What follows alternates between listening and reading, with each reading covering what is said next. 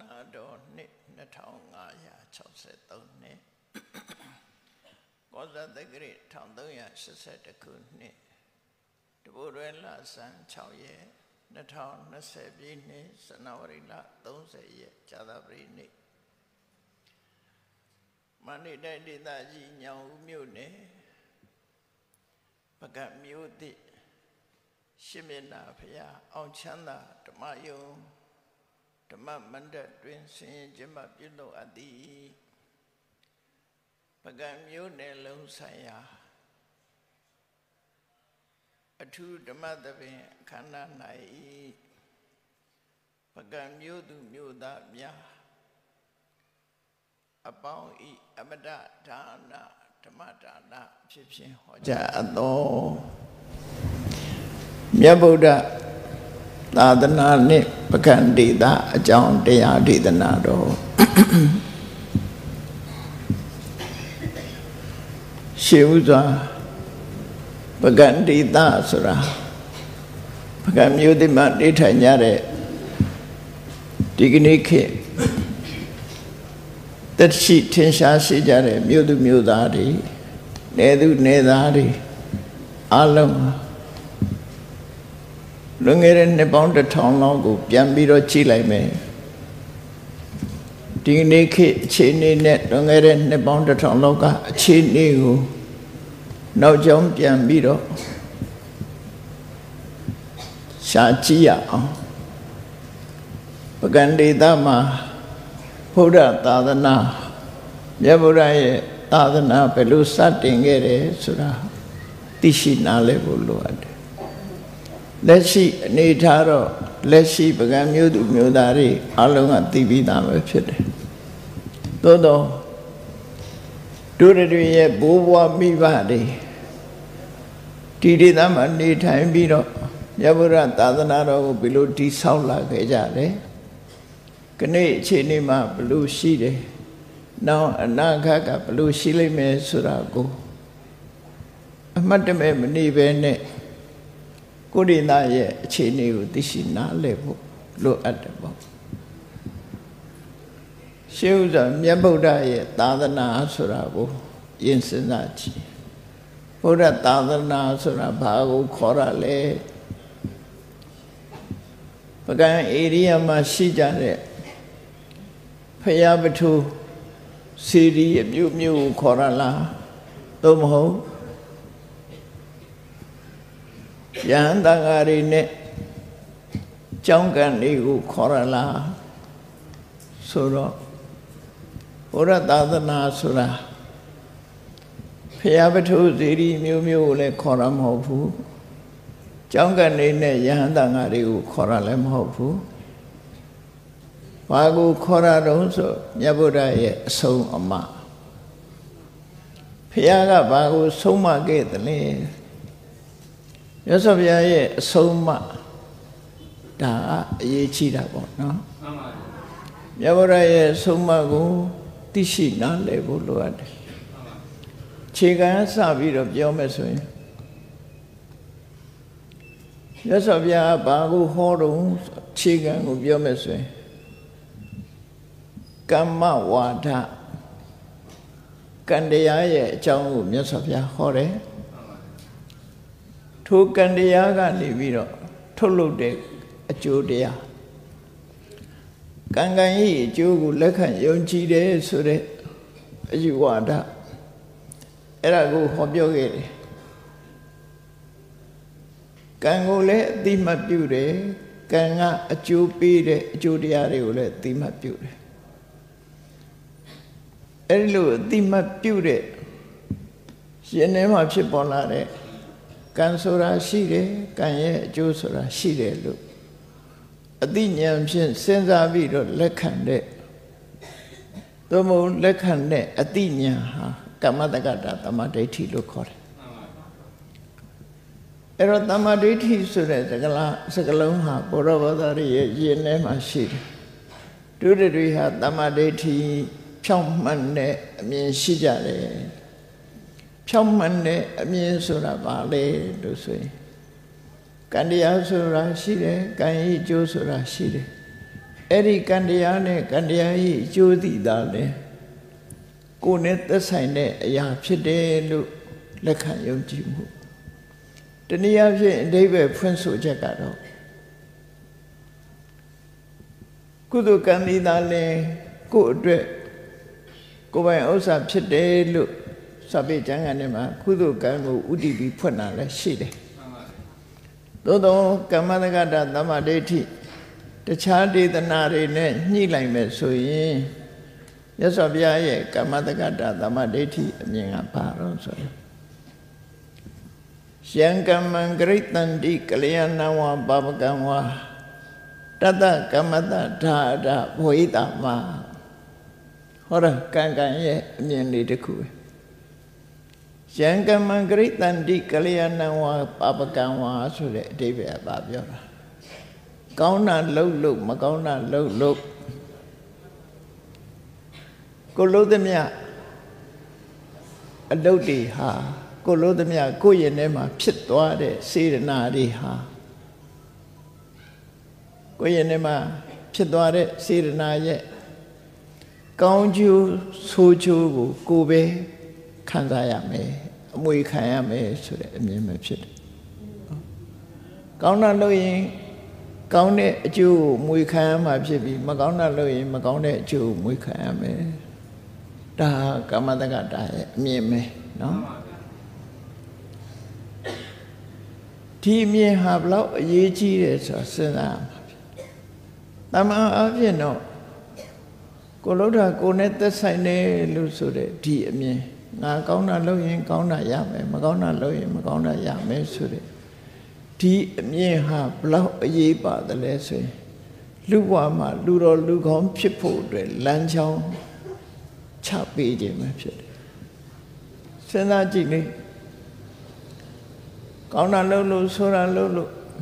ကောင်းတာလုပ်လဲကောင်းတာမဖြစ်ပါဘူးဆိုတာလုပ်လဲဆိုတာမဖြစ်ပါဘူးလို့ယူဆတဲ့ပုဂ္ဂိုလ်တယောက်ဟာ ကောင်းတာကိုလုပ်ပါမလားမလုပ်ဘူးသူဟာအကောင်းအဆိုးယုံကြည်မှုမရှိဘူးကောင်းတာလုပ်လဲခဏခေတ်မှလဲလူတွေမျက်စိလဲစရာရှိတယ်ပေါ့မကောင်းတာလုပ်တဲ့လူတွေကြီးပွားနေတယ်ကောင်းတာလုပ်တဲ့လူတွေကမွဲနေတယ်ကြီးပွားခြင်းမွဲခြင်းဟာတခြားအကြောင်းရှိတယ်သို့တော့အဲ့ဒီအကြောင်းကိုမသိဘဲနဲ့ကောင်းတာလုပ်လို့ မွဲတယ်မကောင်းတာလုပ်လို့ချမ်းသာတယ်လို့အမြင်ဆောင်သွားတဲ့လူတွေလည်းရှိတယ်တကယ်ကတော့တဘာဝတရားဆိုတာကောင်းတာလုပ်ရင်ကောင်းတဲ့အလုပ်ဒီကောင်းကျိုးကိုပဲပေးမှာဖြစ်တယ်မကောင်းတဲ့အလုပ်ဒီမကောင်းကျိုးကိုပေးမယ်သို့တော့ကံတရားရဲ့အကျိုးပေးမှုဟာအခုလို့အခုမဟုတ်ငရုတ်ဒီစားလိုက်မယ်ဆိုရင်အခုစားအခုဆက်တယ်မဟုတ်လား ကံကအဲ့လိုမဟုတ်ဘူးငရုတ်သီးနဲ့မတူဘူးထုံအိုးတဲ့အခုလက်၌လက်ဖြူသွားမယ်နော်ကတ္တရာဘုံနဲ့ခုလက်၌ခုလက်မဲသွားမယ်အဲ့ဒါနဲ့မတူဘူးကံကြတော့ဗာနဲ့တူတော့ဆိုတပင်စိုက်တာနဲ့တော့တူပြတပင်စိုက်တာကြတော့တရေပင်လေးတပင်စိုက်တဲ့ထား ကနေ့ဆိုင်လက်ဖြန်ပေါက်တပည့်ခတည်းသီးစားလို့မရဘူးအချိန်တစ်ခုကိုစောင့်ရတယ်ကံတရားဟာဒီတိုင်းပဲအဲ့ဒီလိုအချိန်တစ်ခုစောင့်ပြီးတော့မှတစ်ပင်များသည့်အချိန်တန်မှအသီးသီးတယ်လို့ကံတရားဟာလည်းကိုယ့်ရင်ထဲရောက်သွားရင်တဖြည်းဖြည်းရင့်လာပြီးတဲ့အခါမှာရင့်ကျက်လာပြီးတဲ့နောက်မှာသူကအကျိုးကိုဖြစ်ပေါ်စေတာဖြစ်တယ်ထ မင်းချက်တာတောင်မှအခုချက်အခုစားလုံးဝမရသေးတာစောင့်ရအောင်မှာပေါ့အမြန်ဆုံး3မိနစ်စောင့်ဆိုတာကြားဘူးကြတယ်မဟုတ်လားနော်ထမင်းစားကြရင်တောင်မှ3မိနစ်ဆိုပြောကြသေးတယ်မဟုတ်လားအနည်းဆုံးတော့စောင့်အောင်မှာပဲအဲ့လားကံတရားဆိုဒီမှာအခုလို့အခုမကြုံပေးဘူးနော်အခုကြုံပေးလို့မျိုးစိတ်လိုပဲသူက အကျိုးမပေးတော့အပိုင်းသုံးပိုင်းနဲ့ကံတရားကအကျိုးထုတ်လို့တာဖြစ်တယ်လူရဲ့ရင်ထဲမှာဖြစ်သွားတဲ့စေရနာဇောတွေဟာပထမဆုံးဖြစ်တဲ့စေရနာဇောရဲ့စွမ်းအားကအလွန်ကြီးမကြီးသည့်အတွက်ကြောင့်အကျိုးပေးရရှိရင်ဒီဘဝအတွင်းမှာပဲအကျိုးပေးသွားတယ်အဲ့ဒါကိုဒိဋ္ဌဓမ္မဝေရဏိယကံလို့ခေါ်တယ် အဲ့ဒီတဲ့အင်အားကောင်းတဲ့တတမေဇောလို့ခေါ်တယ်နောက်ဆုံးအဆင့်မှာရောက်တဲ့အင်အားပြည့်တဲ့ကံကြတော့ဒုတိယဘဝမှာကျုပ်ပေးတယ်သူစောင့်ရမယ်တည်တည်ဤချမဲ့ထီအောင်စောင့်အောင်မယ်သူခုချက်ချင်းကျုံပေးဘူးခုချက်ချင်းကျုပ်ပေးတဲ့ကံသည်ဘဝကြီးအပြောင်းလဲဖြစ်တော့အောင်တော့မလုပ်နိုင်အပြောင်းလဲဖြစ်တော့မလုပ်နိုင်ဒိဋ္ဌဓမ္မဝိရဏိယကံကဒီလောက်အာမကောင်း ဥပပိစ္ဆဝေရဏိယကံကြတော့မျက်စိလေးနှလုံးမှိတ်ပြီးသေသည်ချမဲ့သူကျုပ်ပြီအပရာပရိယဝေရဏိယကံအပရာပရိယဝေရဏိယကံကြတော့တတိယဘဝလောကစပြီးတန်တရားထဲမှာရှိနေသမျှကလည်းဘလို့အခွင့်တာရင်ကျုပ်ပေးတယ်ခွင့်မတာရင်ကျုံပေးသေးဘူးကံကိုသုံးမျိုးသုံးစားခွဲပြီးတော့ဒီလို အကျိုးပေးမဲ့အနေထားတစ်ခုကကွက်ပြသွား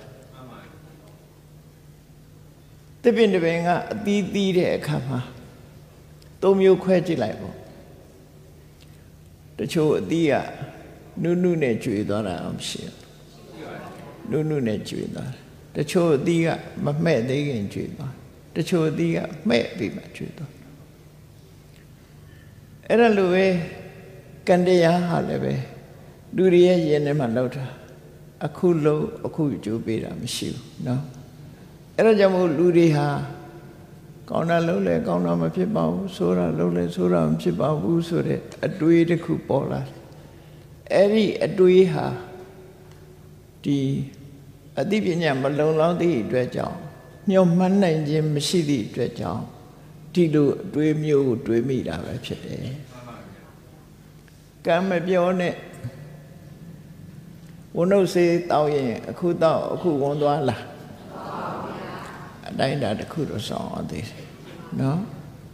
ဆေးလဲအခုတောက်အခုရတာမဟုတ်ဘူးကံတရားဟာလည်းအခုလို့အခုမဖြစ်ဘူးအကယ်၍အခုလို့အခုဖြစ်မဲ့ဆိုရင်မကောင်းတဲ့ကံဘယ်သူလုပ်ရဲမလဲအပေကြမဲ့ကံဆိုချက်ချင်းအပေကြသွားမှသူကြောက်တာပေါ့ကောင်းတာလို့ရင်လည်းခုချက်ချင်းနတ်ကြီးဖြစ်သွားမှာဆိုရင်လည်း လောက်ကြမှာပေါ့နော်အဲ့တော့ကံရဲ့သဘောတရားဟာကံတစ်ခုကအကျိုးပေးနေတဲ့အချိန်မှာဈာဖြတ်ပြီးတော့ရုပ်တရက်ဝင်ရောက်နိုင်ခြင်းမရှိသေးဘူးဈာဖြတ်ပြီးတော့ဝင်ရောက်လာရင်တော့ဥပိ္ပစေတကကံလို့ခေါ်တယ်နော်အင်အားအလွန်ကြီးမားလာရင်တော့ဈာဖြတ်ပြီးတော့ဝင်ရောက်လာတတ်သေးတယ်ကံဆိုတော့ဘာပဲဖြစ်ဖြစ်ကံတရားရဲ့သဘောတရားကိုနားလည်ပြီး ငါတို့သည်ကောင်းတာလုပ်ရင် ကောင်းကျိုးချမ်းသာကိုအမွေခံရမှာဖြစ်တယ်မကောင်းတာလုပ်ရင် မကောင်းတဲ့အမွေကိုခံရမယ်တမန်အဖြစ်ထင်ရှားအောင်ပြောပြမယ်ဆိုရင်ခဏခဏစိတ်တူတတ်တဲ့ပုဂ္ဂိုလ်တယောက်ရဲ့မျက်နှာသည်ပြုံးလို့ရလို့မရတဲ့မျက်နှာမျိုးကြီးဖြစ်နေတတ်တယ်သူ့ကြည့်လိုက်လို့ရှင်နော် အချိုးမပြည့်တဲ့မျက်နှာဖြစ်တယ်။ဘာကြောင့်လဲဆိုတော့ तू ကခဏခဏစိတ်ဆိုးတာစိတ်ဆိုးတဲ့ကကိုယ့်ကိုမှန်နေချီချီတာဘယ်လိုပုံစံနှုံးဆိုတာ။သို့မဟုတ်စိတ်ဆိုးနေတော့ဓာတ်ပုံလေးရိုက်ခိုင်းတာ။အဲ့လိုကြည့်လိုက်ရင်စိတ်ဆိုးနေတဲ့လူတယောက်ဒီရုပ်အစင်းလှပတော့လည်းပဲစုပုတ်နေတဲ့မျက်နှာကြီးကဘယ်လိုလုပ်ပြီးတော့အဆင်ပြေမလို့ စိတ်ဆိုးပါများလို့ရှိရင်အဲ့ဒီမျက်နှာပုံကြီးကအကျော်တည်သွားသလိုဖြစ်ပြီးမွေးတိုင်းမွေးတိုင်းအဲ့ဒီမျက်နှာမျိုးကြီးနဲ့ဖြစ်တတ်တယ်ဒါကံရဲ့အကျိုးတရားပဲဒါအပေါ့ဆုံးလေးကိုပြပြနော်ပေါ့တာလေးကိုပြပြအဲ့ဒါလိုမဟုတ်ဘဲနဲ့မေတ္တာထားပြီးလူတကာနဲ့ဆက်ဆံရေးပြည့်ပြည့်တယ်ဘယ်သူပေါ်မှာမုန်းတိတဲ့စိတ်တွေမရှိဘူး မေတ္တာရှိတယ်ကျင်နာရှိတယ်ဆက်ဆံနိုင်ဟာပြုံးရွှင်တဲ့မျက်နာရှိတယ်ဆိုတဲ့ပုဂ္ဂိုလ်ဟာဖြစ်ရဘဝမှာရှုပ်ချောတယ်စဉ်းနာတယ်ဒီအရာမျိုးရဘာလို့လို့ဆိုရင် तू လုတ်ကြတဲ့က तू ကပြုံးပြုံးရွှေရွှေနေတာဟိုအဲ့ဒါထင်ရှားတာတခုပြောပြတာအခုဘဝမှာစာမသိင်ပေမသိင်လေးလာဖတ်ရှုခြင်းမရှိလို့ပြင်းပြီးတော့ စားစရာနေစရာဝတ်စရာလောက်တင်လုတ်ပြီးတဲ့အခါမှာအပြင်းထူနေတဲ့ပုဂ္ဂိုလ်သည်ဒီဘဝမှာလည်းဘာမှအသိဉာဏ်မရသည့်အရာဘူးနောက်ဘဝကျတော့လည်းလက်ပိန်တုံးဆိုဖြစ်တယ်နော်ပညာမဲတဲ့ပုဂ္ဂိုလ်ဖြစ်တာဘာမှမမသိတာနော်ဘာမှမသိဘူးဆိုရင်စဉ်းစားကြည့်လေပကံမျိုးမနေတဲ့လူတွေ ပကံသမိုင်းကိုအကုန်လုံးသိကြရလားလို့မေးချင်ဟုတ်ဘာလို့မသိတာမလေ့လာဘူးစိတ်မဝင်စားဘူးဆိုမသိဘူးတာလေ့လာတဲ့ပုဂ္ဂိုလ်တော့ပဲသိကြတာဖြစ်တယ်အဲ့တော့မလေ့လာပဲနေခြင်းသည်မသိခြင်းအကြောင်းတစ်ခုပဲမလေ့လာရင်မသိဘူးဆိုတဲ့အဖြေအတိုင်းပဲဖြစ်ရဘဝမှာမလေးလာဘူးဆိုတဲ့ပုဂ္ဂိုလ်တွေဟာအသိဉာဏ်နဲ့ပါသွားတယ် အေးလေးလာတယ်လိုက်စားတယ်ဖတ်တယ်ရှုတယ်စုံစမ်းတယ်မေးမြန်းတယ်ဆိုတဲ့ပုဂ္ဂိုလ်တွေကဉာဏ်ပညာရှိတဲ့ပုဂ္ဂိုလ်ဖြစ်တယ်ကိုလှုပ်တာကိုရတယ်ဆိုတာအဲ့ဒါပြောတာကံဆိုတာကိုလှုပ်တာကိုရတာအဲ့ဒါပြောနော်ကိုမလှုပ်ရင်တော့ဘာတစ်ခုမှရမှာမဟုတ်ဘူးကိုလုံးမှကိုရတယ်အဲ့ဒီသဘောတရားကိုလက်ခံယုံကြည်တဲ့မြင်ကို ဘာခေါ်တော့ဆိုကမ္မတက္ကတာတမ္မာဒိဋ္ဌိတဲ့ဘုရားဘာသာဖြစ်ရင်အ ਨੇ ဆုံးအဲ့ဒီကံကံရေးကျိုးယုံကြည်လက်ခံတဲ့ပုဂ္ဂိုလ်ဖြစ်ရကံကံရေးကျိုးယုံကြည်လက်ခံတဲ့ပုဂ္ဂိုလ်မှရှေ့ကိုဆက်သွားလို့ရတယ်ကံကံဤကျိုးကိုညင်းပယ်လိုက်တာနဲ့တပြိုင်နက်မြတ်စွာဘုရားဟောတဲ့ဆုံးမတရားတော်တွေနဲ့တွေးဖီသွားပြီသူကမှန်ပါဗျာနော်တွေးဖီသွားပြီ ကဲစဉ်းစားကြည့်အောင်ကံကံဤကျိုးကိုလက်ခံသူနဲ့လက်မခံသူဒီနှစ်ယောက်ပဲကြည့်လက်ခံသူကဘယ်လိုစဉ်းစားလက်မခံသူကဘယ်လိုစဉ်းစားမလဲလက်မခံသူစဉ်းစားပုံလေးကိုကြည့်ကိုယ့်ဟာကိုယ်လည်းစဉ်းစားကြည့်ပေါ့ငါကံကံရေးကျိုးလက်မခံဘူးဆိုရင်ဘယ်လိုလုပ်လဲ အေးကောင်းတာလုပ်လဲကောင်းကျိုးမရပါဘူးမကောင်းတာလုပ်လဲကောင်းကျိုးမကောင်းတဲ့ကျိုးမရပါဘူးဒါတွေကအပို့ပဲကိုလှုပ်ချင်တာလုပ်မယ်ဆိုတဲ့လူတယောက်ဟာကိုလှုပ်ချင်တာလို့ဆိုကြတဲ့ကောင်းတာလှုပ်ချင်တာနည်းတယ်မကောင်းတာလှုပ်ချင်တာများအဲ့ဒီပုဂ္ဂိုလ်ရဲ့ဘဝကိုကြည့်လိုက်မယ်ဆိုရင် အကောင်းဘက်သွားမလားအဆိုးဘက်သွားမလားအေးကံကံဤကျိုးလက်မခံဘူးဆိုကြတဲ့အဆိုးဘက်ရောက်သွားပြီသူ လမ်းကြောင်းပေါ်ရောက်ဖို့မရှိတော့ဘူးသူကလက်မမခံတာကောင်းတဲ့လို့ကိုမစဉ်းစားတော့အေးကံကံဤကျိုးယုံကြည်လက်ခံတဲ့ကမ္မတက္ကတသမဒိဋ္ဌိဉာဏ်ရှိတဲ့ပုဂ္ဂိုလ်ကြတော့စဉ်းစားတယ်မကောင်းတာလို့ရင်ဆင်းရဲဒုက္ခရလိမ့်မယ်ကောင်းတာလို့မှကောင်းကျိုးချမ်းသာရတယ်လို့ဘုရားကဟောထားတယ်အေးကောင်းကျိုးဆိုးပြစ်စွာရှိတယ်ငါကဆင်းရဲဒုက္ခကိုကြောက်တယ် ကောင်းကျိုးချမ်းသာရခြင်းနဲ့ဆိုဆင်းရဲဒုက္ခကိုရစေတတ်တဲ့အကုသိုလ်တွေကိုရှောင်ပြီးတော့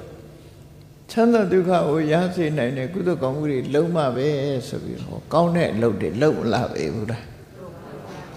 တော့ဘုရားပဒဝင်သူတော်စင်ဒီစဉ်းစားကြည့်ကုသိုလ်ကောင်းမှုတွေလုပ်နေကြတာဟာအ ਨੇ ဆုံးနောက်မောချမ်းသာဖို့ လူတွေပြောရရှိတယ်တို့မရှိလို့မလှူမလှူလို့မရှိဒီတန်တရားကထွက်နိုင်မှာမဟုတ်ဘူးရှိတာလေးတော့လှူမှပဲဆိုရအတွေးလေးတွေဝင်လာကုသိုလ်ကောင်းမှုတော့လုပ်မှပဲကုသိုလ်ကောင်းမှုမလုပ်ရင်တန်တရားမှာလူဘဝနှိမ့်ချသွားလိမ့်မယ်ကုသိုလ်တော့လုပ်မှပဲဒါယုံကြည်တာပဲလေအဲ့ဒါလိုယုံကြည်လို့ကောင်းတဲ့အလုပ်တွေဟာလုပ်ဖြစ်သွားတာအဲ့တော့ရလက်အနေနဲ့ကြည့်မကောင်းဘူးလား လမ်းကြောင်းပွင့်သွားတယ်လို့ပြောအဲ့ဒါလိုမဟုတ်ဘဲနဲ့ငါတို့ဟာဖရာသခင်ကဖန်ဆင်းလို့ဖရာသခင်ရဲ့အလိုတော်ချပဲလို့ဆိုတဲ့ပုဂ္ဂိုလ်ဟာလည်းပဲကောင်းတာလုပ်ဖို့စဉ်းစားမှမဟုတ်တော့ဘူးနော်ဘာဖြစ်လို့တော့ဆိုရင်သူ့ကိုဆုံးဖြတ်ပေးနေတာကိုလုပ်တဲ့အလုပ်ကဆုံးဖြတ်ပေးတာမဟုတ်ဘဲနဲ့ဘုရားသခင်ကအဆုံးဖြတ်ပေးတာဘုရားသခင်ကိုပဲထိုင်ရှိခိုးနေဖို့ ဆုတောင်းနေဖို့ blessing ပေးပါလို့ဒါပဲရှိတော့မှာပေါ့နော်ကိုကိုယ်တိုင်လှုပ်တဲ့လှုပ်ထိုက်တာကိုမလှုပ်ကြတော့အဲ့တော့ဒါကြောင့်မို့လို့ဘုရားဘာသာဖြစ်ဖို့ရာကံကံဤကျိုးလက်ခံသိမြင်တဲ့ကမ္မတက္ကတာတမဒိဋ္ဌိညာရှိရမယ်လို့ပြောအဲ့ဒါမရှိရင်လူတော်လူကောင်းကိုမဖြစ်နိုင်ဘူးနော် ကံကံဤကျိုးယုံကြည်လက်ခံမှလူတော်လူကောင်းဖြစ်တယ်လို့သူတို့မှတ်သားကြနော်နောက်တစ်ခုပြောရမယ်ဆိုလို့ရှိရင်ကံကံဤကျိုးလက်ခံပြီးဆိုလူတော်လူကောင်းဖြစ်တယ်မြတ်စွာဘုရားကလူတွေကိုမဆိုးသွမ်းအောင်ဗာနဲ့ထိန်းဟောဆိုရင်ကမ္မတက္ကတာသမာဓိဋ္ဌိညာနဲ့ထိန်းပေးတာတခြားဘာသာတွေကျတော့ဘုရားဒီ ဖန်ဆင်းရှင် God ဆိုတာနဲ့ထိန်းတာလေသူတို့လည်းအကျိုးသက်ရောက်မှုတော့ရှိတဲ့တော့ရှိပါနော်မကောင်းတဲ့လောကနေပြီးတော့မလှုပ်ဖို့ထိမ့်ပေးတာကြတော့ကောင်းပါဘုရားဘာသာတွေကြတော့အမှန်သိပြီးတော့ဒီလူတွေရဲ့ကိုကျင့်တရားကိုထိမ့်ပေးတယ်။ဘာနဲ့ကိုကျင့်တရားထိမ့်လို့ဆိုအေးမကောင်းတာလုပ်ရင်မကောင်းကျိုးရလိမ့်မယ်ကောင်းတာလုပ်မှကောင်းကျိုးရလိမ့်မယ် ငါကိုကျင့်တရားပြပြလို့မဖြစ်ဘူးကိုကျင့်တရားကောင်းအောင်လုပ်မှဖြစ်မယ်ဟောဒီအတွေးဝင်လာနောက်တစ်ခုကျတော့ဘာနဲ့ထိန်းနုံလို့ဆိုလို့ရှိရင်ကိုကျင့်စာတရားနဲ့ထိန်းရသော်ဗျာကိုကျင့်စာတရားဟောတာနဲ့လူတွေကိုလူတော်လူကောင်းဖြစ်အောင်ထိန်းပေးထားတယ်ဘလို့ထိန်းပေးတော့ဆိုရင်ငါမကြိုက်တာကိုသူများလုပ်ရင် သူများလည်းကြိုက်မှာမဟုတ်ဘူး အဲ့တော့ကိုချင်းစာတရားထားတယ်ကိုမကြိုက်တဲ့လုပ်ပါလို့သူများလုံးမှလည်းမလုပ်ပါနဲ့မလုပ်ချင်ပါဘူးကိုမလက်မခံနိုင်တဲ့အရာကိုသူများကိုတော့မလုပ်ပါနဲ့ဆိုတော့ဟောဒီတွေးရလည်းပဲလူတော်လူကောင်းဖြစ်ဖို့မရောက်စေဘူးလားရောက်စေတာပဲဒါကြောင့်မို့ကိုချင်းစာတရားဆိုတာလည်းလိုအပ်တယ်ကမ္မတက္ကတာကိုချင်းစာတရားဆိုတာတော့ရိုးရိုးစဉ်းစားတာကိုနဲ့နှိုင်းဆပြီးတော့စဉ်းစားတာ ရသော်ဘုရားဟောတဲ့တရားထဲမှာကိုချင်းစာတရားကိုပါဠိစကားလုံးနဲ့ပြောပါဆိုရင် အတုပနာယိကလို့ခေါ်တယ်အတ္တဥပနာယိကကိုနဲ့နှိုင်းရှင်ပြီးတော့ကြည်တာဘယ်ဘယ်အလုပ်ပဲဖြစ်ဖြစ်ဥမာမဲ့သူများကိုဆဲမယ်ဆိုရင်ငါဆဲရင်ရောကြိုက်မလားဟောမကြိုက်ဘူးငါ့ကိုလာဆဲရင်ငါမခံနိုင်ဘူးအဲ့တော့ငါလည်းသူများမဆဲနဲ့ငါကိုရိုက်ရင်ငါကြိုက်မလားမကြိုက်ဘူးအဲ့တော့သူများမရိုက်နဲ့ ငါပစ္စည်းလာပြီးတော့မတရားယူရင်ငါကြိုက်မလားမကြိုက်ဘူးအဲ့တော့သူပစ္စည်းတော့မယူနဲ့ဆိုဟောကိုယ့်ကိုလူတော်လူကောင်းဖြစ်အောင်ကိုချင်းစာတရားထားတရမမန္တမြဟာတေမှာကြောက်ကြတာကြီးပဲရိုက်နေခံရမှာတို့အပြစ်ဒဏ်ခံရမှာတို့ကြောက်ကြတာကြီးအဲ့တော့သူများကိုရိုက်နေဖို့ဒုက္ခပေးဖို့မစင်စားနဲ့ကိုလည်းဒုက္ခကြောက်တယ်သူလည်းဒုက္ခကြောက် အစဉ်ပြေတာကိုအလုံးကြိုက်ကြတယ်ဒါကြောင့်မို့သူတို့တတ်နိုင်အစဉ်ပြေအောင်ပဲလုပ်ပေးမယ်အစဉ်မပြေအောင်မလုပ်ဘူးဟောဒါဒီအတွေးနှစ်ခုဟာလူတော်လူကောင်းဘဝသို့ရောက်အောင်ပို့ဆောင်ပေးတာ ਨੇ တူတူပဲအဲ့ဒီအတွေးမရှိဘူးဆိုရင်လူတော်လူကောင်းဖြစ်ဖို့ခက်တယ်လူတော်လူကောင်းဒါကြောင့်မို့ဒီအတွေးဟာတမန်အလွယ်လေးလို့မအောင်မိတ်နဲ့မြတ်စွာဘုရားပွင့်မှ သို့မဟုတ်သူတော်ကောင်းတွေနဲ့ကြုံတဲ့အခါမှာဒီအတွေးမျိုးရရှိတာဖြစ်တယ်အနုဘုဆိုရင်လူတွေရဲ့စိတ်ဓာတ်မှာဘာရှိတော့ဆိုအင်အားကြီးတဲ့ပုဂ္ဂိုလ်ကအင်အားနည်းတဲ့ပုဂ္ဂိုလ်ကိုအနိုင်ကျင့်တာပဲဖြစ်တယ်။ဗိုလ်ကြတယ်ဆိုတာနော်။ဗိုလ်ကြတယ်ဘူလီလို့ခေါ်တယ်ဗိုလ်ကြစိုးမိုးတာ။အင်အားမရှိတဲ့ပုဂ္ဂိုလ်အင်အားရှိတဲ့ပုဂ္ဂိုလ်ကဖိနှိပ်တယ် ညှဉ်းပန်းတယ်နှိပ်စက်တယ်။တရိษံလောကကြည့်လိုက်လေ။တရိษံလောကကြည့်လိုက်။အင်အားကြီးတဲ့အကောင်ကအင်အားမကြီးတဲ့အကောင်ကိုတတ်စားနေတာပဲလေ။တော့လူလောကမှာအဲ့ဒီအနေထားမျိုးကကောင်းတဲ့အနေထားမှာမဟုတ်တာတရိစ္ဆာန်လောကအနေထားမျိုးရောက်သွားနိုင်တယ်ပေါ့ဘူကြစိုးမိုးတယ်ဆိုတာကောင်းတဲ့အလုံးမဟုတ်တော့ဘူး ညာတာတယ်ကျင်နာတရားထားတယ်ဒုနတူရမင်းကူညီတယ်ဆိုတာလူသားတွေအတွက်တမိုးချီမတဲ့အရာဖြစ်တယ်ဒါကြောင့်ကိုကျင့်တရားကိုဗာနဲ့ထိန်းလို့ဆိုကမ္မတက္ကတာတမ္မာဒိဋ္ဌိနဲ့ထိန်းတယ်နောက်တစ်ခုကဗာနဲ့ထိန်းကိုကျင့်စာတရားနဲ့ထိန်းကိုကျင့်စာတရားဆိုတာမေတ္တာနဲ့အကျဉ်းနာပဲဖြစ်တယ်တနည်းအားဖြင့်ပြောရင်မေတ္တာနဲ့ကရုဏာပေါ့နော်အဲ့ဒါနဲ့ထိမ့်သိမ့်တာလောကကြီးတစ်ခုလုံးဟာ လူသားပြီပြီတူတူမနှိမ့်ဆက်ဖို့မညှင်းဆဲဖို့အနိုင်မကျင့်ဖို့ဆိုတာလေကံကံရဲ့အကျိုးကိုသိမြင်ခြင်းအပြင်နဲ့ထိမ့်တယ်ကိုချင်းစာတရားဖြစ်တဲ့မေတ္တာကရုဏာနဲ့လည်းထိမ့်တယ်လို့ဒါဟာမြတ်စွာဘုရားရဲ့အဆုံးအမပဲအခြေခံကြတဲ့အဆုံးအမ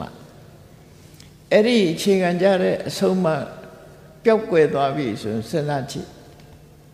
ကံကံဤကျိုးလက်မခံဘူးဘု ရားသခင်ကတတ္တဝါတွေကိုတတ်ပြီးပူဇော်ရင်သူ့ရဲ့ကောင်းကင်ဘုံရောက်တယ်ဆိုရင်တတ်ကြတာပဲလေရှင်နဲ့ပူဇော်တယ်ဟောကောင်းကြီးပေးတယ်ဆိုတတ်ကြမှာပဲလူတွေဟာကိုချင်းစာတရားဆိုတာကင်းမဲ့ပြီးတော့တူတူနိုင်ခြင်းတဲ့ဘဝမျိုးရောက်ရှိသွားတယ်အဲ့တဲ့အဆင့်ရောက်သွားရင်လူဟာဒီတရိစ္ဆာန်အဆင့်ရောက်သွားခြင်းပဲဖြစ်တယ်ပေါ့ ဒါကြောင့်ဒုဒတွေဟာမြတ်စွာဘုရားရဲ့ဆုံးမကိုသိရှိနားလည်ကြသည့်အတွက်ကြောင့်လူအစဉ်တန်းမှာလူသိက္ခာရှိရှိနဲ့နေနိုင်ကြတာလို့သူတို့အောင်မိပြီတော့နော်လူသိက္ခာနဲ့နေနိုင်ကြတာဟာမြတ်စွာဘုရားရဲ့အဆုံးအမကြောင့်ပဲဖြစ်တယ်အဲ့ဒီမြတ်စွာဘုရားရဲ့အဆုံးအမဒါရင်လားလို့ဆိုမဟုတ်သေးဘူးဒါအခြေခံနဲ့ပြောတာကမ္မတက္ကတာတမ္မာဒိဋ္ဌိပြီးလို့ရှိရင် ဝိပဿနာတမ္မာဒိဋ္ဌိတဲ့အဲ့ဒီဝိပဿနာတမ္မာဒိဋ္ဌိဆိုတာဝိပဿနာဝိဆိုတာထူးခြားတဲ့ပဿနာရှုမြင်သုံးသပ်မှုသူများတွေနဲ့မတူတဲ့ထူးခြားတဲ့ရှုမြင်သုံးသပ်မှုတနည်းအားဖြင့်ပြောမယ်မမြဲတဲ့သဘော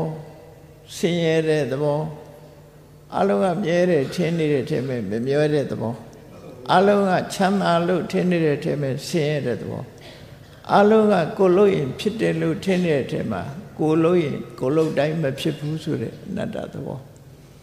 အဲ့ဒီလိုကွဲကွဲပြားပြားရှုမြင်တတ်တဲ့အသိဉာဏ်ကိုဝိပဿနာလို့ခေါ်တယ်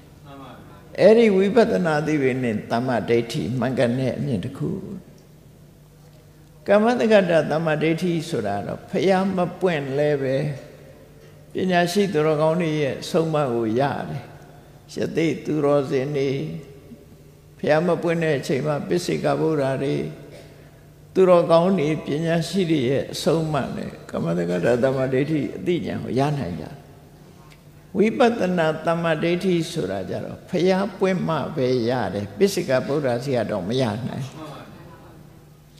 ရသော်ဘုရားပွင့်မှဝိပဿနာတမ္မာဒိဋ္ဌိဆိုတဲ့အသိဉာဏ်ရတယ်မြတ်စွာဘုရားကဘာပြောခဲ့သလဲဘာဟောခဲ့သလဲဆိုပြိဋိဘံသံဃာနီးမှာသူပတ္တဆိုတဲ့ပြပိုက်ကလာပြီးတော့မေးတယ်မေးတဲ့အခါမှာမြတ်စွာဘုရားကသူပတ္တအဲ့ဒါတွေမေးမနေနဲ့အချိန်မရှိဘူး ငါရှင်းရှင်းပြောလိုက်မယ်မဂ္ဂင်ရှိပါအကျင့်တရားမရှိဘူးဆိုလို့ရှိရင်အစဉ်လေးမျိုးဟာမရှိနိုင်ဘူးတဲ့သောတာပန်သက္ကရာကအနာဂံဆိုမရှိနိုင်ဘူးငါရဲ့အတွေ့အကြုံနှစ်ပေါင်း52နှစ်အတွေ့အကြုံပြောလိုက်မယ်တဲ့ဝိပဿနာတမ္မာဒိဋ္ဌိရဲ့ဒစိတ်တတိတာဟောပြောနိုင်တဲ့ပုဂ္ဂိုလ်တောင် ဒီသာသနာရဲ့အပြည့်မှမရှိဘူးအပြည့်အစုံဟောဖို့ဆိုတာမဆိုထားပြီးတစိတ်တတိတာတောင်ဟောနိုင်တဲ့ပုဂ္ဂိုလ်မရှိဘူး52နှစ်အတွေ့အကြုံဆိုတာဘာပြောတာလဲမြတ်စွာဘုရားရဲ့အလောင်းဟာ29နှစ်တောထွက်တယ်တောထွက်ပြီးတရားကျင့်တာဘယ်နှစ်နှစ်6နှစ်ဘုရားဖြစ်နဲ့တရားလှည့်ဟောတာ45နှစ် 45ရဲ့6ရဲ့ပေါင်းတဲ့အခါအဲ့ဒီ52နှစ်ကိုပြောတာအဲ့ဒီ52နှစ်တရားရှာတရားဟောတဲ့အတွင်းမှာကြည့်လိုက်ရင်ဝိပဿနာတရားနဲ့ပတ်သက်ပြီးတော့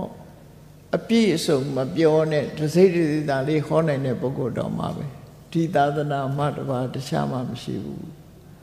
အဲ့တော့ဝိပဿနာသမဒိဋ္ဌိသည်ဘုရားဘာသာဝင်တို့ရဲ့ရသော်ဘုရားရဲ့ ကိုယ်ပိုင်တရားဖြစ်ပြီးတော့ဘုရားဘာသာဝင်တို့တဲ့အကောင်းဆုံးလက်ဆောင်ပဲဖြစ်တယ်ဖះပွင့်မှရတဲ့ဓမ္မလက်ဆောင်ပဲနော်အဲ့ဒီလက်ဆောင်ကိုဖះပွင့်ရဲ့တန်းနဲ့ကိုကိုယ်တိုင်လည်းလုံးနိုင်ရဲ့တန်းနဲ့မယူလိုက်ဘူးဆိုရင်တော့မယူတဲ့လူပဲမှန်ပါဗျာနော်မယူလိုက်လို့မိုက်တယ်ထင်ပေါ့ကိုယ့်ကိုအဲ့ဒါ ယူလိုက်ပြန်တော့ကြိုက်တယ်ထင်အဲ့တော့မေခွေရဲ့ကြပြလို့ဖြစ်သွားလိမ့်မယ်မြတ်စွာဘုရားဟောထားတဲ့ဝိပဿနာဆိုတဲ့ဟာဖះပွင့်မှာပဲရကဲဒါဖြင့်ဝိပဿနာဉာဏ်ဆိုတာဖြစ်နိုင်သလားဖြစ်တာပေါ့ပကံဖះတွေလှည့်ပြီးတော့ဖူးကြည့်ဖူးကြည့်ပြီးတော့အော်တနေ့တစ်ချိန်တုန်းက ကြက်ပြတ်မကြစီကားတဲ့ဒီပကံဒေသကြီးဟာကနေ့တော့ဖျားဖျားပြက်တွေနဲ့ခုနကြည့်လိုက်လဲပြိုကျပြက်နေတဲ့ဖျားတွေပြင်းထားတာတွေနဲ့အနောထမင်းကြီးဆိုတာပဲရောက်သွားတော့ကျက်စင်မင်းကြီးဆိုတာပဲရောက်သွားတာအလောင်းစီသူဘရင်ကြီးဆိုတာပဲရောက်သွားတော့တွေ့သေးလားကဲအဲ့ဒါတွေကိုတွေးပြီးတဲ့အခါကျတော့ အော်ဘယ်ဟာမှမမြဲပါလားတနေ့ကျတော့ငါတို့လည်းပဲဒီကဘာမြေပေါ်ကပျောက်သွားကြအောင်မှာပဲလို့မစင်စားသင့်ဘူးလားစဉ်းစားပါဗျာအဲ့ဒါလို့စဉ်းစားရင်ကိုပဲဝိပဿနာဉာဏ်ရဲ့အစာရသွားဆိုလိုတာကအဲ့ဒါလောက်လေးကစပြီးတော့ကိုရှင်တဲ့နှလုံးထဲမှာအတွေးလေးတွေပေါ်ဖို့လိုတယ်ဒီအတွေးကိုအထင်မသေးလေးနဲ့ဒီအတွေးသည်နောက်ဖျားပွင့်တဲ့အခါမှာအလွယ်တကူ ယဟနာဖြစ်ဖို့သောတပန်ဖြစ်ဖို့အတွက်အထောက်အကူဖြစ်သွားဒီတွေးလေးတောင်မတွေးမိဘူးဆိုလို့ရှိရင်တော့အဲ့ဒါဖျားပြက်တွေကြောင်းကံပြက်တွေအဟောင်းတွေတွေးပြီးဒီလိုလေးမှမတွေးတတ်သေးဘူးဆိုလို့ရှိရင်နောင်ဖျားနဲ့တွေးလဲဒီခေါင်းနဲ့ဒီဟာရောက်မှာမဟုတ်တော့အဲ့ဒါကြောင့်မို့လို့နေ့စဉ်နဲ့အများအဲ့ဒီတွေးတွေးဖို့လိုတယ်တွေးရမယ် တစ်ချိန်တုန်းကဒီနေရာဟာမတန်စီကားခဲ့တယ်ခဏဒီလိုမဟုတ်အဲ့တော့စဉ်းစားရမှာဘယ်ရာပဲဖြစ်ဖြစ်သင်္ခါရဆိုတဲ့အရာတွေဟာထာဝရပြောင်းလဲပျက်စီးနေတဲ့အရာတွေသာဖြစ်တယ်ငါတို့ဟာမမေ့မလျော့တရားဓမ္မဝိကျင်ကြကျုပ်ကိုအထုံးမှဖြစ်မယ်ဆိုတဲ့အတွေ့အလေးတွေးပြပါကြာဘူးရမလားရှင်ဆုလဘအလောင်းဟာဘယင်ဖြစ်တုန်းက မြို့ကိုလှဲ့တယ်မြို့လှဲ့ပြီးတော့ချွေးထွက်တဲ့အခါမှာသူ့လက်ထက်မှာပါလာတဲ့ပဝါလေးနဲ့နှစ်ဖူးကိုတုပ်လိုက်တယ်တုပ်ပြီးပြန်ကြည့်လိုက်တဲ့အခါဖွေးစွနေတဲ့ပဝါလေးဟာညစ်ပေသွားတယ်အဲ့ဒီညစ်ပေသွားတာဒီမစင်စားဘူးဆိုရင်ဘာမှရအောင်သူကစဉ်းစားလိုက်တယ်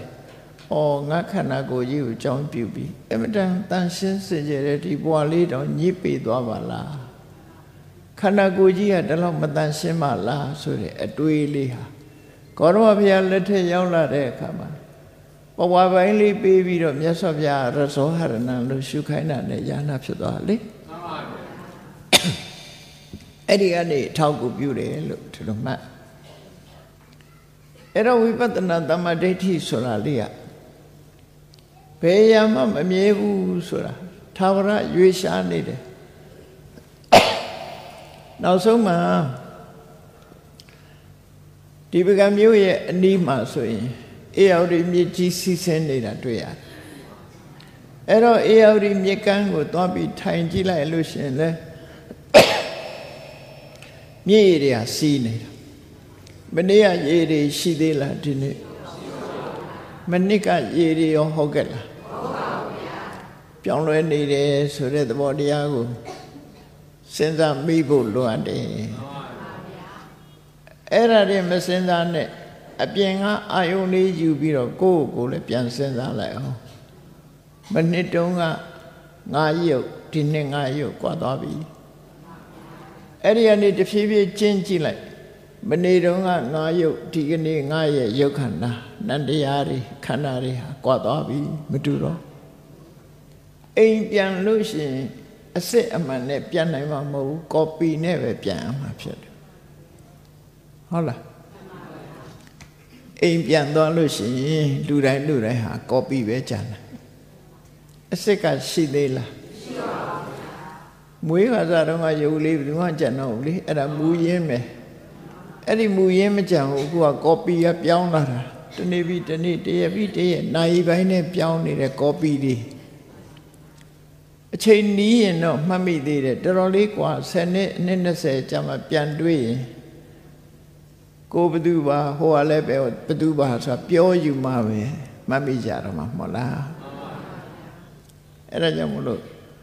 ရွေးနေတာဟာချက်ချင်းကြီးရွေးသွားတာမဟုတ်ဘူးတနေ့ပြီးတနေ့တစ်စက္ကန့်ပြီးတစ်စက္ကန့်ရွေးပြောင်းလဲနေတဲ့သဘောလေးကိုတခဏလေးပဲဖြစ်ဖြစ်ကိုယ့်အိမ်မှာကိုနေရင်ကနေပြီးစဉ်းစားပါ အဲ့ဒါဝိပဿနာဉာဏ်တဲ့အခြေခံပဲလို့သူတို့ဆိုလို့ဝိပဿနာရဲ့ဉာဏ်အခြေခံလေးဝိပဿနာသမာဓိဋ္ဌိလေးဖြစ်ပြီးမမြဲဘူးဆိုတာတွေသိရင်ဒီလောက်သိလိုက်တာနဲ့ဘလောက်ထိအောင်အကျိုးသက်မှုရှိသွားတော့ဆိုရင်ပစ္စည်းပေါ်မှာတွေ့တာမှုလူတွေပေါ်မှာတွေ့တာမှုရောကြသွားတယ်။နော်တွေ့တာမှုရောကြသွားတာနဲ့တပြိုင်နက်ရင်ထဲကတောကလည်းရောကြသွားတယ်။ အပြီးသက်မချေမုံနိုင်သေးရင်မဖြုတ်နိုင်သေးရင်ရှော့ချဖို့တော့လိုအပ်တယ်လို့ဆိုမလျှော့နိုင်လို့ရှိရင်လူတွေမှာဘာဖြစ်တော့ဆိုတောကတွေရှိတယ်တောကကအလုံးပေါ်မှာရှိသလားဆိုမရှိဘူးတွေ့တာတဲ့ပုဂ္ဂိုလ်ပေါ်သို့မဟုတ်တွေ့တာတဲ့ပစ္စည်းပေါ်မှာသာတောကဖြစ်တယ်ကိုမပိုင်နဲ့တိုက်အိမ်ကိုမပိုင်နဲ့ကားပြီးတဲ့ပါသွားတယ်ဆိုဘာဖြစ် ဘာဖြစ်ပါ့မလဲကိုပစ္စည်းမဟုတ်ရင်ဘာမှဖြစ်ကြဘူးမဟုတ်လားလူလဲကိုမသိတဲ့လူတယောက်သိသွားရင်ဘာဖြစ်လဲဘာဖြစ်ဘူးတနာပါတယ်တော့ပြောခြင်းပြောမယ်ဒါပေမဲ့မတုံလို့ဘူးလေကိုဆွေတဲ့မျိုးတဲ့ကဆိုရင်ဘလို့ဖြစ်ကိုဆွေတဲ့မျိုးတဲ့မဟုတ်ကိုရဲ့အရင်အချကြီးဆိုရင်လူတွေဟာနေမထိတိုင်မချဖြစ်ဘာကြောင့်အဲ့လိုဖြစ်ရလဲ သူလဲလူပဲကိုလည်းလူပဲကြံတဲ့လူတော့ဘာကြောင့်မဖြစ်လဲတွေ့တာမှုမရှိရင်မဖြစ်ဘူးတွေ့တာမှုရှိရင်ဖြစ်တယ်အဲ့ဒီတွေ့တာမှုကိုဝိပဿနာဉာဏ်နဲ့ရှော့ချရမယ်လို့ပြောတာနော်ရှော့နိုင်ရမယ်ရှော့နိုင်ရင်ရင်ထဲကတောကကိုဖယ်ရှားလို့ရသွားပြီအဲ့ဒါဝိပဿနာရဲ့လက်တွေ့ခံစားရမယ်အကျိုးတရားပဲဖြစ်မြတ်စွာဘုရားကဒါကိုဟောကြားဆုံးမတာပဲဖြစ်တယ် ဒါကိုဗုဒ္ဓသာသနာမြတ်ဗုဒ္ဓရဲ့သာသနာလို့ခေါ်တယ်နော်အဲ့ဒီလိုမြတ်ဗုဒ္ဓရဲ့သာသနာမှာလိုက်နာကျင့်သုံးရမယ့်အချက်တွေကဘာတွေတော့ကိုကျင့်သီလရဲ့တမန်ပုဂ္ဂိုလ်တွေဆိုရင်၅ပါးသီလလုံမှုလိုတယ်သူစရိုက်တရား10ပါးအတိုင်းလိုက်နာဖို့လိုအပ်တယ်ဒါနကောင်းမှုအတိုင်းတာတစ်ခုနဲ့လုပ်ဖို့လိုအပ်တယ် သီလပြည့်စုံပြီးတဲ့အခါမှာကိုယ်ရင်ထဲမှာရှိတဲ့တတိတွေတိုးပွားလာအောင်ရှင်ထဲမှာရှိတဲ့အသိဉာဏ်တွေတိုးပွားလာအောင်လေ့ကျင့်မှုလိုအပ်တယ်ဘာဝနာလို့ခေါ်တယ်အဲ့ဒီဒါနသီလဘာဝနာဆိုတဲ့လုပ်ငန်းစဉ်300ဟာမြတ်စွာဘုရားရဲ့အဆုံးအမတရားပဲဖြစ်တယ်ဟောကိုလိုက်နိုင်ရင်လိုက်နာတော့အကျိုးရှိမှာပဲမလိုက်နိုင်ရင်မလိုက်နာဘူးဆိုတဲ့အကျိုးတွေပြက်ပြမှာပဲပေါ့နော် မလိုက်နာရင်အကျိုးမရှိဘူးလိုက်နာမှအကျိုးရှိတယ်ဘယ်ရာပဲဖြစ်ဖြစ်ဆေးမတော့ဘဲနဲ့ယောဂပျောက်တဲ့ဆိုရှိလားရှိပါဘူးဗျာယောဂဖြစ်နေတဲ့ပုဂ္ဂိုလ်တယောက်ဟာဆေးတောင်းအောင်မှဖြစ်တယ်ဆေးကသာယောဂပျောက်စေတယ်ထို့တူပဲရသော်ဘုရားရဲ့အဆုံးအမတရားကိုလိုက်နာကျင့်သုံးမှုမပြုဘဲနဲ့ကောင်းကျိုးချမ်းသာရဖို့ဆိုတာမလွယ်ဘူးလေအဲ့ဒါကိုသတိထားပြီးတော့ မြတ်ဗုဒ္ဓရဲ့သာသနာပကံတိတမှာပကံတိတမှာမြတ်ဗုဒ္ဓရဲ့သာသနာသို့မဟုတ်မြတ်ဗုဒ္ဓသာသနာနှင့်ပကံတိတလွန်ခဲ့တဲ့နှစ်ပေါင်းတစ်ထောင်တထောင်ကျော်ရဲ့ဟိုဘက်ကိုကြည့်လိုက်အခုလို့ကမ္မတက္ကတာသမ္မာဒိဋ္ဌိတို့ဝိပဿနာသမ္မာဒိဋ္ဌိဆိုတာမကြဘူးသေးဘူး ပကံဧရိယာမှာရှိကြတဲ့လူတွေမကြသေးဘူးမကြဘူးသေးဘူးလို့ပြောနော်မကြဘူးသေးဘူးအဲ့ဒီလိုနဲ့ဘဝတစ်ခုကိုအစာပြုတ်လာခဲ့ကြတယ်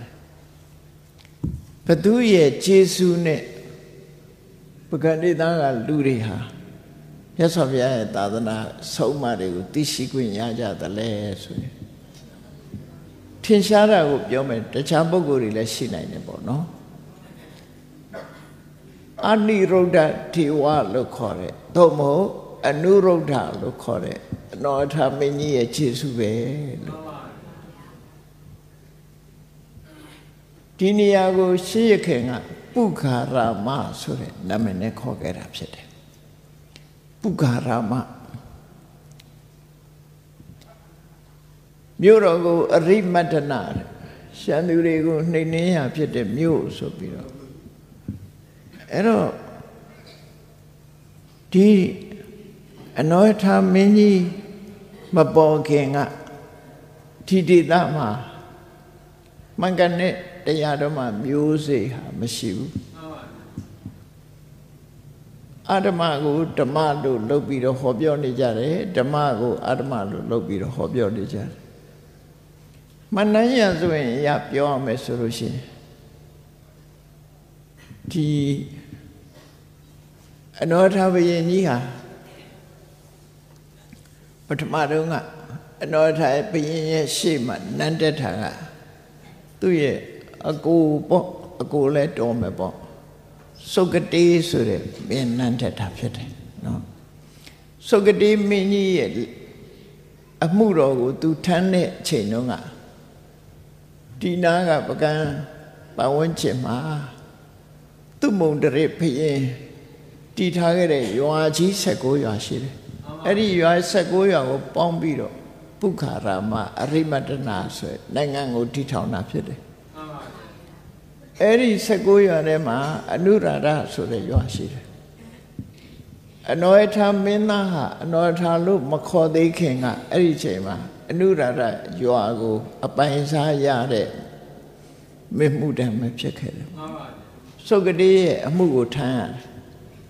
နောက်ပိုင်းရောက်တဲ့အခါကျတော့သုကတိနဲ့သူ့နဲ့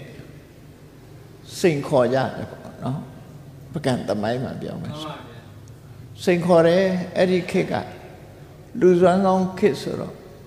မလုပ်ကြမလဲမြင်းနဲ့စီးချင်းထိုးပဲစီးချင်းထိုးတယ်ဆိုတာအသေးတတ်တာအပျော်လောက်တာမဟုတ်ဘူးနိုင်တဲ့လူကရှုံးတဲ့လူကိုအသေးတတ်မှာပဲစုတ်တေးနဲ့အနောရထ မြင်းကဘာချောင်းပေးမှာမြင်းစီးပြီးတော့တုံးနဲ့တူလက်ဆွမ်းကိုပြကြတယ်ပထမစုတ်တေးကမြင်းစီးပြီးတော့အကွက်ချောင်းပြီးတော့အနောထာကိုလှန်နဲ့ထိုးလိုက်တယ်မှန်ပါဗျာထိုးလိုက်တော့သူလှန်ချက်ကချက်ကိုမထိပဲနဲ့မြင်းကကိုသွားထိသွားတယ်မှန်ပါဗျာ အဲ့ဒီမှာအနောထာကထိခါတော့နောင်တော့လှည့်ပြီးပြီသူ့လှည့်ပဲခဏအောင်ခံဆိုပြီးတော့မြင်းကိုလှက်ပတ်စီးပြီးစုကတေကိုလမ်းနဲ့ထိုးချလိုက်တဲ့အခါကျတကယ်ချက်ကောင်းကိုထိသွားတော့စုကတိရောမြင်းရောချောင်းထဲကိုကြပြီးတော့မျောပါသွားတယ်မှန်ပါဗျအဲ့ဒါဟာပကံရဲ့အစလို့ပြောခြင်းပြောလို့ရတယ်ပေါ့ အဲ့ဒီကစပြီးတော့အဲ့ဒီချောင်းကိုလည်းပဲမြင်းကပါချောင်းမြင်းရောကရောပါသွားလို့မြင်းကပါချောင်းလို့ခေါ်တယ်လို့ဒီလိုလဲဆိုကြတယ်ပေါ့နော်မှန်ပါဗျအဲ့ဒီကနေပြီးနောယထာဘယင်းဆိုတာဖြစ်လာတာပဲရှေးခင်ကနောယထာဘယင်းဆိုတာမရှိသေးဘူးစုတ်တေးကိုအနိုင်တိုက်ပြီးတော့ဒီမျိုးပြကိုအုပ်ချုပ်တဲ့အခါမှာသူ့ရဲ့ညံစွမ်းညံစားနဲ့အစွမ်းတကူတွေတာထားလိုက်ပါ သူ့ရဲ့လက်ရည်လက်သွေးရဲ့အသိဉာဏ်နဲ့သူဟာအုပ်ချုပ်တယ်မှန်ပါဗျာရာဇဝင်ထဲမှာတော့အထင်ကြီးအောင်တော့ဖမဘယင်းနေဟိုရင်တရားမင်းကဘာဆက်တယ်ညာဆက်တယ်အဲ့ဒါတွေတာထားလိုက်တရားကိုထဲ့မပြောနဲ့တော့ဈေးကြီးနေတရားကိုထဲ့မပြောနဲ့ တို့ရဲ့လူရဲ့အရေးချင်းတွေကရှိတယ်တမန်အရေးချင်းတွေရှိတာပဲเนาะအဲ့ဒီတမန်အရေးချင်းတွေက ထူးခြားတဲ့အရေးချင်းနဲ့စုပ်တေးကိုအနိုင်ရပြီးတော့ပကံထိနှံကိုသူကပိုင်ဆိုးလိုက်တာပဲဖြစ်တယ်ပေါ့အဲ့တော့သူရဲ့အမည်နာမကိုအနိရုဒ္ဓသို့မဟုတ်အနုရုဒ္ဓစာပေရဆိုရင်တော့အနုရုဒ္ဓဆိုတဲ့စကားလုံးကအနိရုဒ္ဓဆိုမချုပ်ငိမ့်ဘူးဆိုတဲ့အဓိပ္ပာယ်ရနေတယ်အနုရုဒ္ဓဆိုတာကြတော့မဆန့်ကျင်ဘူးဆိုတဲ့အဓိပ္ပာယ်ရတယ် အဲ့ဒီအဓိပ္ပာယ်ကပို့ပြီးတော့ကောင်းတယ်အနုရုဒ္ဓကနေပြီးအနောရထအတန်ချင်းနီးတယ်ကူးလာတယ်အတန်ကူးလာမဟိယင်္ဂနာကနေမရှိခဏဖြစ်သွားသလိုပဲတိလောကမင်္ဂလာလို့ရေးထားရနေဖတ်တဲ့အခါထိလို့မင်းလို့ဆိုဖြစ်သွားပြန်နော်တိလောကကိုပြီးအောင်မဖတ်တော့တိလောတိလောက ကပြောက်သွားပြီတိလောမင်္ဂလာကြတော့မင်းလောမင်္ဂလောမင်းလောဖြစ်သွားတယ်အတန်နေပြောင်းသွားပြီးတော့တိလောကမင်္ဂလာစီရီကလည်းထီလို့မင်းလို့ဖြစ်တာပဲထီလို့မင်းလို့ဖြစ်တာအဲ့တော့အနုရုဒ္ဓကလည်းအနောရထဖြစ်သွားတာမဆမ်းပါဘူးဒါနော်အတန်ပြောင်းလာအဲ့တော့အနောရထဘယင်တက်လာတဲ့အခါကျတော့ သုဂတိလက်ထက်ကဘာရီကိုးွယ်နေလဲဆိုတန္တရမန္တရမန္တမန္တရာတွေစုပ်ပြီးတော့ဟိုဝိဇ္ဇာလို့လို့ဇောကြီးလို့လို့အဲ့ဒီလိုပုဂ္ဂိုလ်ရဲ့အစွမ်းတကူတွေကိုလူတွေကယုံကြတယ်ယုံကြတော့သူတို့ဟောတာအတိုင်းပဲလိုက်နာပြီးတော့လုပ်ကြတယ်အေးဘယ်လိုပြစ်မှုတွေကျူးလွန်ကျူးလွန်ကျူးလွန်ထားလို့ရှင် သူတို့ရွဆိုတဲ့တန္တရမန္တရရွလိုက်တာနဲ့အဲ့ဒီပြစ်မှုတွေကပျောက်ကင်းသွားတယ်ဒါအဆန်းမဟုတ်ဘူးမြတ်စွာဘုရားလက်ထက်ကဗြဟ္မင်းနေလဲဒီတိုင်းပဲနော်ဗြဟ္မင်းနေလဲဒီတိုင်းပဲလောကကြီးကိုလိန်ညာပြီးတော့စားနေကြတာလိန်ညာပြီးတော့စားနေကြတာအဲ့တော့နောထားလက်ထက်လည်းအဲ့ဒီပုံစံပဲသူတို့ဟာတန္တရမန္တရအုံဖွလှုပ်လိုက်တာနဲ့အကုန်လုံးပျောက်သွားတယ် လောကမှာရှိပါမလားအဲ့ဒါအုံဖွလို့မန္တန်တကူနဲ့အစွမ်းတကူနဲ့ခွင်းလုံးကျွတ်ဆိုဖြစ်နိုင်မှာဖြစ်နိုင်နော်အဲ့ဒီလားသို့တော်လူတွေကတော့ယုံမြဲယုံတာပဲခဏလေးယုံတော့မယ်တာတွေကယုံနေတော့မယ်အဲ့တော့အနောရဘိကြီးကတော့အသိဉာဏ်ရှိတဲ့ပုဂ္ဂိုလ်ဆိုမယုံမှုတာတွေအဲ့ဒီမယုံတဲ့အခါမှာမြတ်ဗုဒ္ဓရဲ့အဆုံးအမအစစ် ဆိုတာကိုသူသိချင်တယ်ဒါတော့ထိလန်းတော့မဟုတ်သေးဘူးအုံဖွားတွေကမရသေးဘူးအုံဖွားဆိုတာကိုသိလားဘာကြောင့်အုံဖွားလို့ခေါ်တာတော့ဗမာစကားမှာအုံဖွားလို့ပါဠိစာပေမှာအုံဆိုတဲ့စကားလုံးကအဥမအခရာသုံးလုံးပေါင်းထားတယ်နော်အရဲ့ဥရဲ့မရဲ့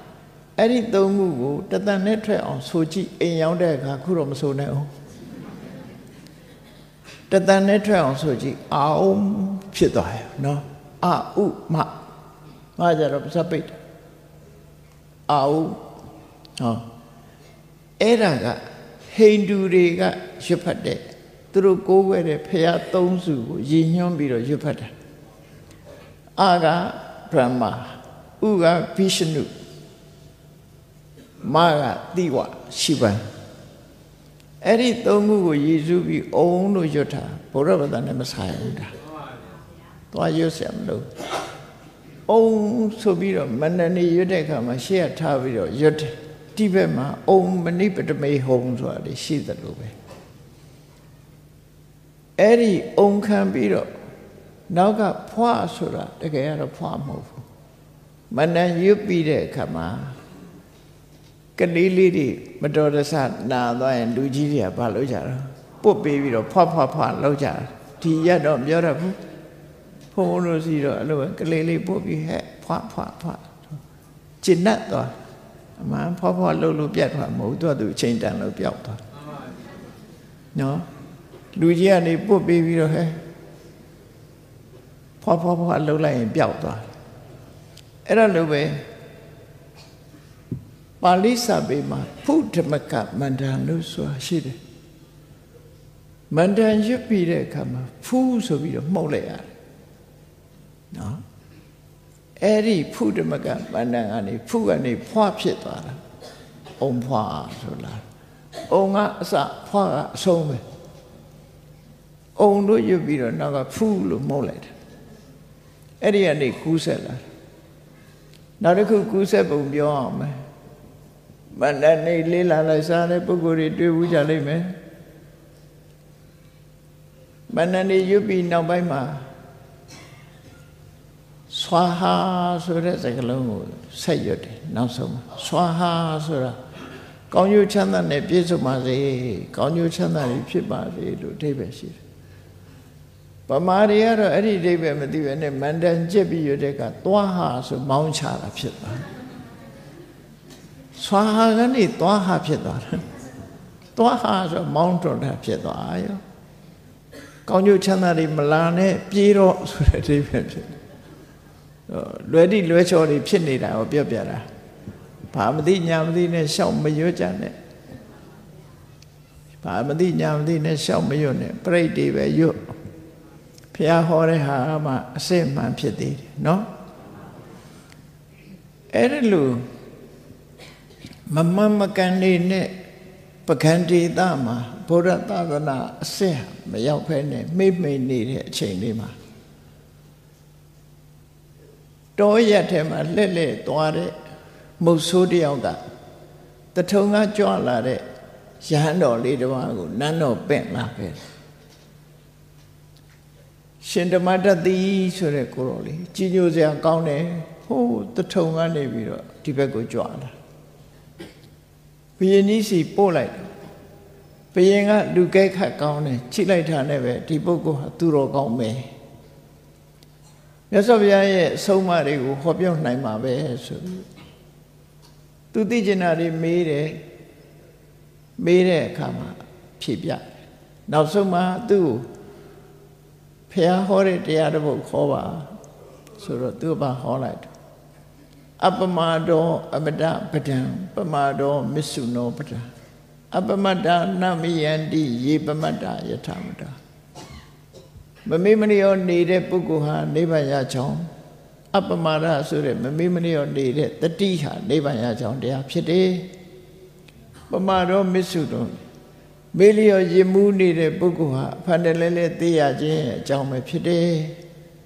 အပမတ္တနာမယန္တိမမေ့မလျောကျင့်ကြံကြုတ်ကိုအထုတ်တဲ့ပုဂ္ဂိုလ်တွေကနိဗ္ဗာန်ရောက်ပြီးဘယ်တော့မှမသိရတော့ဘူးဩရှေပမတ္တယထာတာမေလျောတဲ့ပုဂ္ဂိုလ်တွေကတော့ဘာမှမထူးလူသေးနဲ့အလားသဏ္ဍာန်တူတယ်အဲ့ဒီတော့ကိုယ့်ရဲ့ဘဝမေလျောပြီးတော့မနေရဘူးကဲမေလျောတယ်ဆိုတာကိုကတမန်အဖြစ်စဉ်းစားရင်ငါတို့မမေ့ပါဘူး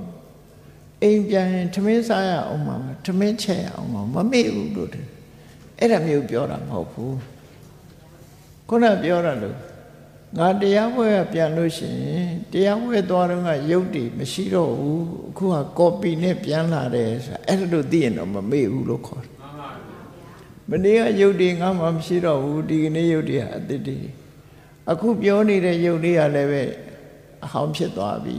အကြရင်ပြောင်းလဲသွားပြီ သာဝရမြေကြီးကစီးနေတယ်လို့ဒုက္ခနာကုမှာရှိတဲ့ရုပ်တည်နံတွေကလည်းပြောင်းလဲနေတာပါလားလို့သိလိုက်တာမမေ့တာလို့ခေါ်တယ်ကုသိုလ်ကောင်းမှုလုပ်ဖို့မမေ့ဘူးဒါနကောင်းမှုသီလစောင့်တည်ဖို့ကမ္မဋ္ဌဘာဝနာပွားဖို့မမေ့ဘူးဆိုမှမမေ့တာလို့ခေါ်တယ်အဲ့ဒီလိုမမေ့မှနိဗ္ဗာန်ရောက်ကြောင်းတရားဖြစ်တယ်မေ့နေလို့ရှိရင်နိဗ္ဗာန်ရောက်ဖို့မဖြစ်နိုင်ဘူးတန်တရားထဲမှာပဲအဖတ်တလဲလဲသိရတဲ့အနေထားမျိုးရောက်တယ် အဲ့ဒါလေးကိုဟောလိုက်တော့အနောတော်ဘုရင်ကြီးကသဘောကျပါဓမ္မတရားအစစ်ဆိုပြီးတော့သူနဲ့လက်တွဲပြီးသာသနာပြုဖို့ဒီပုဂ္ဂိုလ်လေးကိုဖိတ်တယ်နောက်တော့မြတ်စွာဘုရားဟောတဲ့တရားတော်တွေဘယ်မှာရှိသလဲဆိုဘလောက်ရှိသလဲဆိုရှင်းပြတယ်မြတ်စွာဘုရားဟောတဲ့တရားတော်တွေဟာဝိနည်းက၅ချမ်းရှိတယ် သုတ်တန်နေနိကေ၅ရက်ရှိတယ်ပိဋကတ်၃ပုံရှိတယ်သုံးဝိနည်းဝိဓမဒီကေ၅ပြဓမ္မခန္ဓာပေါင်း8400ရှိတယ်အဲ့ဒါတွေဘယ်မှရနိုင်လို့ဆိုတထုံမှာရှိတယ်နော်တထုံမှာရှိတယ်ဆိုတထုံသွားတောင်းတထုံကနေပြီးတော့ပိဋကတ်တွေအစုံ30ကျော်မှန်ပါဗျာရှိတယ်အဲ့ဒီကနေပြီးတော့ပိဋကတ်တော်ရီရော စာပေကျမ်းတတ်ဆွမ်းတဲ့ပုဂ္ဂိုလ်တွေရောပကံကိုပင့်လာခဲ့တာအဲ့ဒီမှာနှစ်ဝါရရှိတယ်အနောထဘုရင်ကသွားပြီးတော့စစ်တိုက်ပြီးတော့အနိုင်ကျင့်ယူခဲ့တယ်ဆိုတာလည်းရှိတယ်သို့တော့ဆရာကြီးနိုင်ပန်းလာကအဲ့ဒီဟာကို तू မယုံကြည်ဘူးတဲ့နော်မယုံကြည်ဘူးအဲ့ဒါလို့နိုင်ကျင့်ပြီးတော့ယူတာမဟုတ်ဘူးအဲ့ဒီအချိန်မှာမနုဟာဘုရင်ကြီးက အင်အားနေနေတဲ့အချိန်ဂျွန်စစ်တီတွေကမကြာခဏလာတိုက်လို့အင်အားနေနေဒါကြောင့်မို့အနောထာစီရင်ကလည်းစစ်ကူတောင်းမှုတယ်မှန်ပါဗျာတထုံသာသနာဟာဂျွန်စစ်တီတွေဟိန္ဒူဝါဒကြီးစိုးနေတဲ့ဂျွန်စစ်တီတွေဟာမကြာခဏဝင်းဝင်တိုက်သည့်အတွက်ကြောင့်တထုံမှာရှိတဲ့ဗုဒ္ဓသာသနာဟာစိုးရင်ကြဖြစ်နေတယ်ဒါကြောင့်မို့ပကံရွှေ့တာကောင်းတယ်ဆိုပြီးတော့